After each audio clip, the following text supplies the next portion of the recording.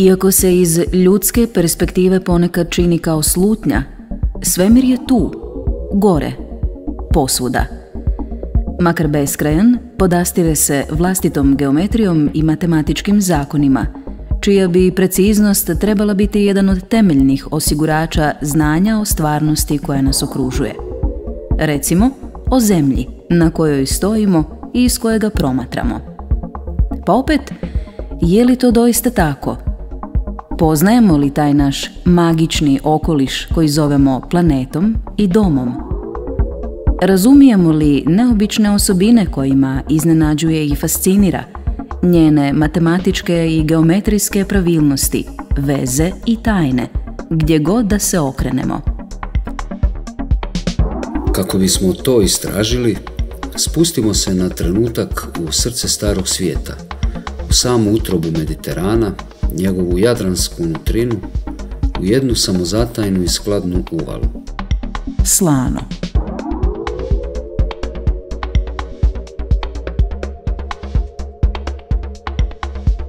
Zatvorena s dva rta, milju prostrana, ispunjena plažama, potocima, izvorima, poljima, plodovima prirode i više tisućljetnom povješću, uvala u kojoj danas obitava petstotinjak duša. Slano se već preko pola milenija nalazi pod zaštitom Svetoga Vlaha, tik uz Dubrovnik, centar drevne republike, koja je stotinama godina čuvala svoju slobodu, kulturu i ovaj rajski ambijent, stisnut na geografskom i civilizacijskom razmeđu utjecaja, sila i svjetova. Centar zapadnog dijela Dubrovačke republike je Slano, gdje je republika u 15. stoljeću podiže dvor kao sjedište kneza Slanske knežije. Danas, u sjeni Dubrovnika, ova uvala tako ostaje nepoznata mnogima u Hrvatskoj, a pogotovo u svijetu, unatoč tomu što joj je značaj svjetski. Do Slanoga se može doći konvencionalnim sredstvima, kopnom i morem, a za naše putovanje odabrat ćemo pomalo ne svakidašnju, ali zapravo vidjet ćemo uskoro sasvim prirodnu rutu. Ona će se doticati ključnih prirodnih obilježja, civilizacijski važnih točaka, mitoloških i povijesnih likova, događaja, gradova, svetih mjesta. I ne manje važno, postaje ovog puta zadane su matematički.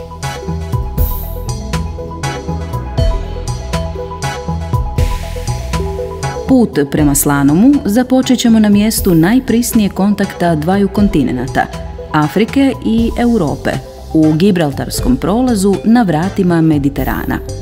Njega, kao strijela jabuku, od Atlantika cijepa rt Tarifa i svojim najoštrijim vrškom precizno pokazuje 36. paralelu sjeverne hemisfere. Prva je postaja na toj paraleli 3700 km istočnije, na granici Turske i Sirije. Na obali Mediterana, kao prirodni marker, uzdiže se 1717 metara visoka sveta planina Akra, u prošlosti poznata i kao Cassius Mons, u turskoj tradiciji Kilić Dag ili planina Mačeva. Od brončanog doba na nju se hodočastilo, a danas njen vrh kontrolira turska vojska. Da bi nastavili putovanje prema Slanomu, sakre trebamo isukati mač u smjeru sjeverozapada pod kutom većeg dijela zlatnog reza osmine punog kruga, odnosno 27,8 stupnjeva. Ovaj kut nazvat ćemo alfa. Fi je koeficijent zlatnog reza, a izvodi se iz pravokutnog trokuta omjera kateta 1 prema 2, kojemu je hipotenuza korijen iz 5. Najmanji kut ovog pravokutnog trokuta je gama. Vratimo se na akru. Snijeće nas kut alfa u Mercatorovoj projekciji povesti preko mitske troje. Svratit ćemo u francuski Troa, i konačno stići u Pariz, koji ime dijeli sa trojanskim princom Parisom. Ova začudna veza geografije i priče, koja se nalazi u samim temeljima zapadne civilizacije, tek je jedna od mnogih u uzbudljivoj mreži zagonetki koje su pred nama. Rutu Akra Pariz nazvat ćemo Kadmova os, prema Kadmu kralju Tebe, čiji je sin Il smatran praocem Ilira. U Zakru, Pariz i dvije troje, na Kadmovoj osi ističu se još dvije geometrijski značajne točke, a nalaze se u prostoru drevne Ilirije.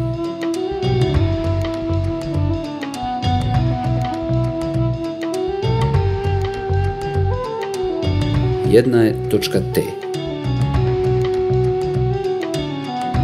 Točka T, zlatni je rez kadmove osi. Ujedno je i polovište dužine od troje do troa. Te polovište između meridijana Akre i Tarife. Točka T smještena je kod Povljane na otoku Pagu u Hrvatskoj i zajedno s Tarifom i Akrom čini vrh jednakokračnog trokuta. Zanimljivost je kako točka T na sferi zemlji globusu u odnosu na druge dvije točke trokuta uspostavlja udaljenosti okruglih vrijednosti u različitim mjernim sustavima 2000 km i nautičkih milja.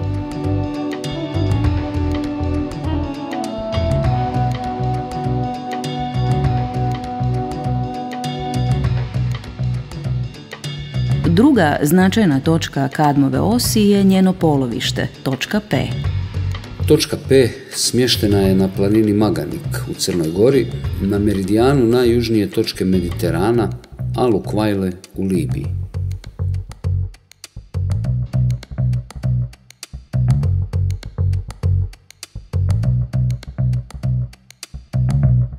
Tamo je na samoj obali smješten 150 metarski jednako kraći trokut nalik na utvrdu kojoj kraće stranice u odnosu na bazu zatvaraju kut alfa.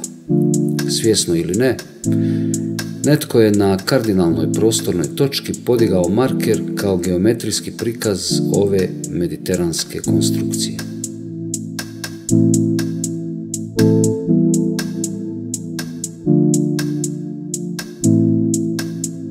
Paralela točke P presjeca Balkanski poluotok u mjestima istog naziva. Banja u uvali Slano na Jadranu i Banja uz obalu Crnog mora. Zanimljivostima tu nije kraj. Desetak kilometara južnije od Crnomorske banje smješteno je bugarsko ljetovalište Sveti Vlas, Ovaj su gradić u drugom stoljeću nove ere osnovali Tračani, a Sveti Vlas dobio ime u 14. stoljeću po svetome Blažu, Vlahu. U njegovoj neposrednoj blizini nalazi se već 3000 godina naseljen Nesebar, poznati kao biser Crnog mora ili bugarski Dubrovnik. Okrenemo li se prema zapadu i pratimo paralelu Nesebara, stići ćemo u Jadranski biser, Dubrovnik, kojeg već čitavo tisućljeće čuva Sveti Vlaho –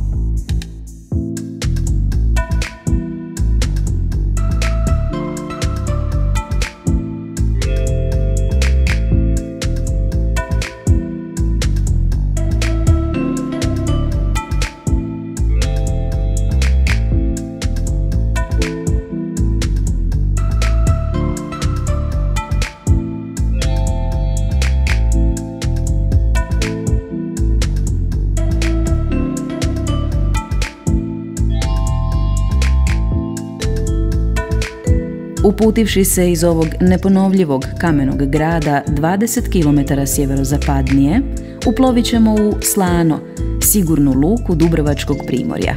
Nju od otvorenog mora s juga štiti Elafitsko otočje, a s tri ostale strane gorje s gotovo kilometar prema nebu uzdignutim vrhom, Neprobić,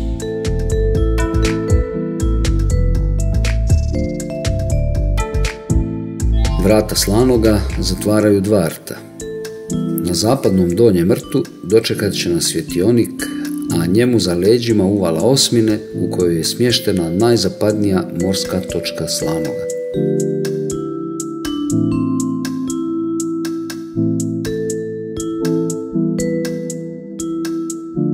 preko istočnog gornjeg grta, gdje se zavukla djevičanska uvala Brnakovo, doći ćemo u naselje i uvalu Banja, u kojoj se nalazi najjužnija morska točka Slanoga.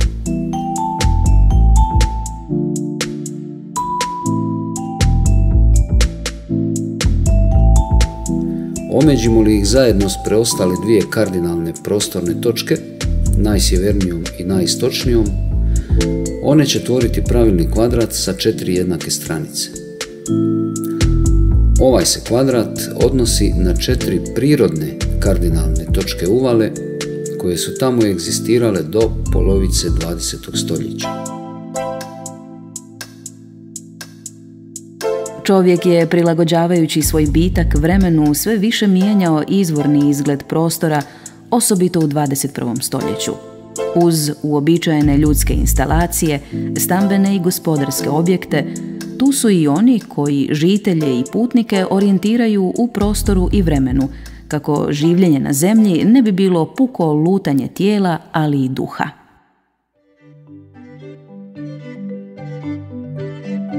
Dva svjetionika postavljena su na stranicama zlatnih rezova polovice kvadrata, jugozapadni na Donjem rtu i sjeveroistočni u Luci, na rivi nasutoj i formiranoj za vrijeme Austro-Ugarske. Izvornu sliku slanoga mijenjaju i duhovni svjetionici, osam crkava opstalih do danas raspršenih kopnenim dijelom uvale. U naselju Grgurići crkva je iz 16. stoljeća posvećena Svetom Roku kao zavjet protiv kuge što je u Slanomu i okolici tada harala.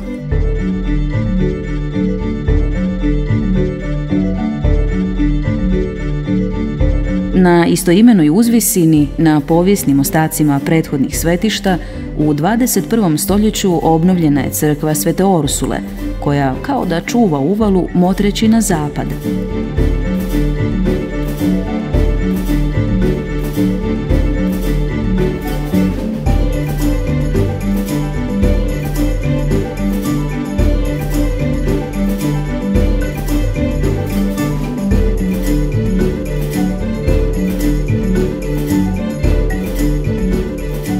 Centrom Slanoga dominira samostanska crkva Svetog Jeronima sa zvonikom, čija je gradnja počela netom nakon što je Dubrovačka republika 1399. kupila prostor današnjeg Dubrovačkog primorja.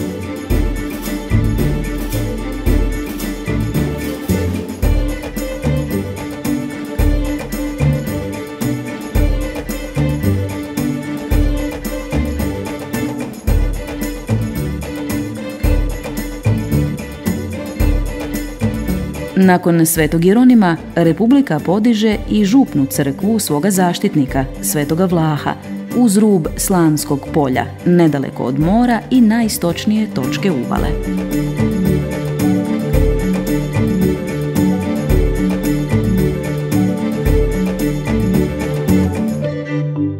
Na mjestu prethodne kapelice u 17. stoljeću Miho Praca Tubanjoj započinje gradnju zavjetne crkve navještenja, Annunciato, smještenu uz pješčanu rajsku plažu, pored jednog, a ponad drugog izvora vode. Sveta Luncijata i Sveti Vlaho tvore koordinatni sustav od čijeg su ishodišta udaljeni u omjeru 1 prema 2. Iz ishodišta ovog koordinatnog sustava opišemo kružnicu sa radijusom u Svetom Vlahu. Na toj kružnici će se naći spomenute četiri crkve. Sveti Roko, Sveta Orsula, Sveti Jeronim i Sveti Vlaho. U geometriji bilo koje tri točke možemo staviti na kružnicu, ali ne i bilo koje četiri. Jednako tako, na pravac možemo staviti bilo koje dvije točke, ali ne i bilo koje tri. Kada na kružnici imamo četiri ili na pravcu tri točke, opravdano se može govoriti o planiranoj konstrukciji. Osim toga, ova konstrukcija nije neovisna o dizajnu prostora u kojem se nalazi, kao i u široj slici Mediterana na udaljenosti od više tisuća kilometara, Tako i na maloj skali, u rasponu jedne milje, ljudsko djelovanje kroz vrijeme usklađivalo se s djelovanjem prirode, barem kada je o ovim svjetionicima riječ. U Slanomu primjer je za to centar kružnice ovih četiriju crkava. On se nalazi na dijagonali slanskog kvadrata, a od njegovog najdaljeg vrha udaljen je za stranicu tog kvadrata. Također, na stranici polovice kvadrata nalazi se crkva Gospe od Karmena, podignuta na mjesnom groblju u 19. stoljeću.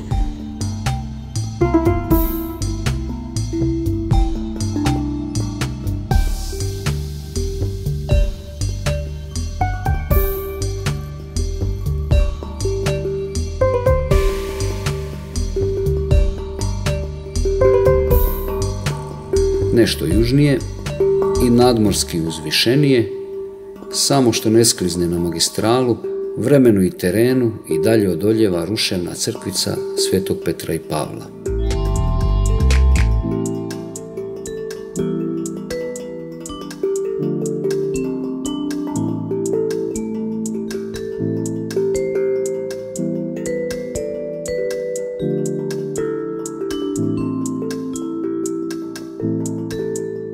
Podno nje, dolje u centru banje, u dvorištu lokalnog domaćina, nalazi se crkva Svetoga Petra iz 18. stoljeća.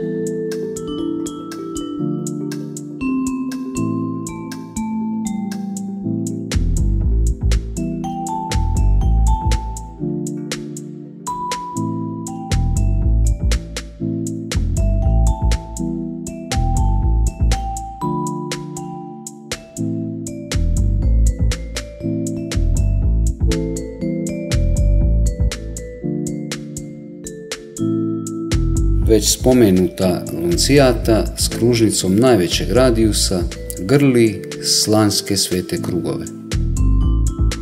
Na tetivi ove kružnice, koja pod kutom gama spaja svetu Luncijetu i svetoga Vlaha, nalazi se i sveti Petar u banjoj.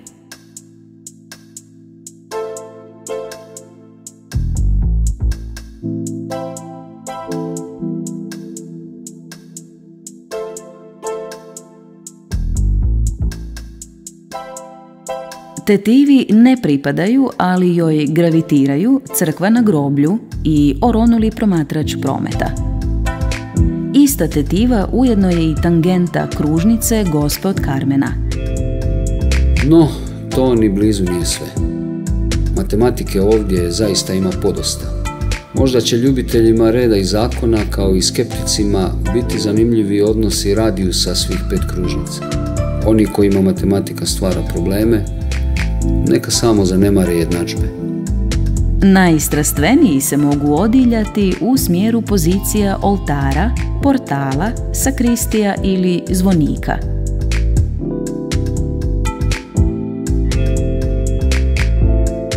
Lokalni žitelj ili znatiželjni gost mogao bi se zapitati prolazi li mojom spavačom sobom ili omiljenim restoranom neka od ovih crtarija.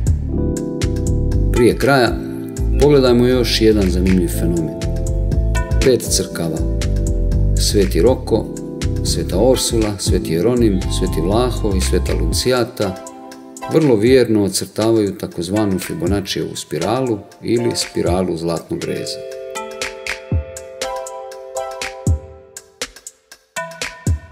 Mnogo je pitanja, ali i mnogo odgovora i ne treba se iznenaditi kada shvatimo da su nam cijelo vrijeme bili skriveni pred nosom.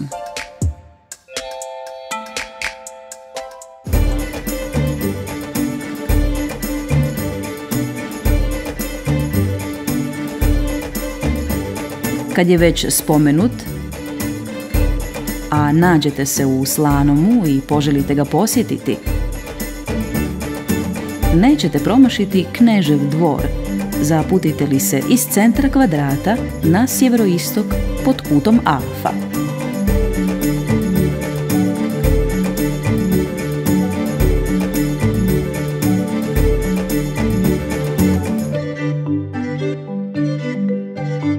I za kraj, posjetitelju i žitelju neka ovo skladno pletivo geometrijskih oblika bude na korist u življenju sada i vazda vijeke vjekova. Amen.